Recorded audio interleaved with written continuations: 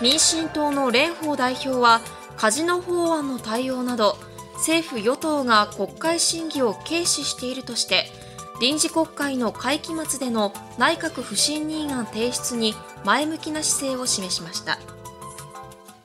来週以降の参議院における内閣委員会の動きあるいは本会議がどのようになるのかは少し丁寧に見ながらただ私たちにはさまざまな最後の選択肢もあるということは捨ててはいません。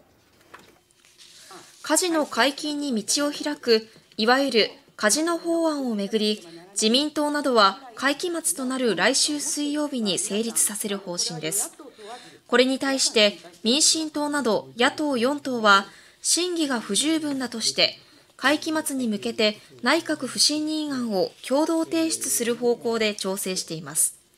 また蓮舫代表は年明けに予定される共産党大会に安住代表代行を出席させることを明らかにしました。